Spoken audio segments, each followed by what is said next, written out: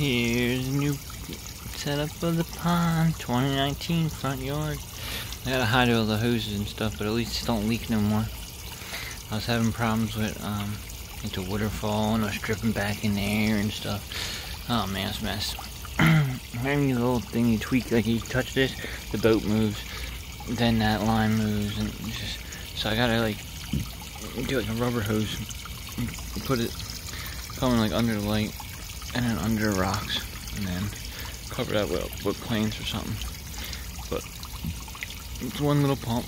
Here's a little pump. It's like the size of a friggin' I don't know, quarter, your dollar. And there's my only fish. You see him?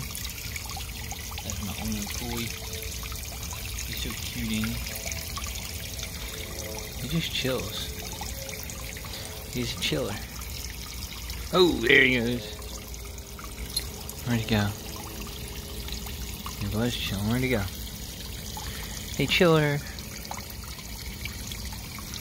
No chiller. There he is, back there. Let's see if we'll scare him again. Yo! Oh, he ran. Oh no, he's not. He's still there. Say, what are you doing there, buddy? He's like, you can't see me, dog. You can't see my dog. Oh, he jumped that shit. This, this, he's fast. He really is. He's just out. He's a smart fish, too. Very smart. He's the only one to survive. Well, that's it, guys. I can't do much for you guys, but I tried. Tried a little bit. That's a real flower, by the way. You like it or no? It's okay. There's a lot going on in little fucking one footer.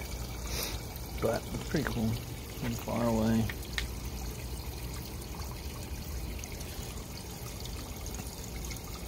But I have fun with it. I like Great Camp.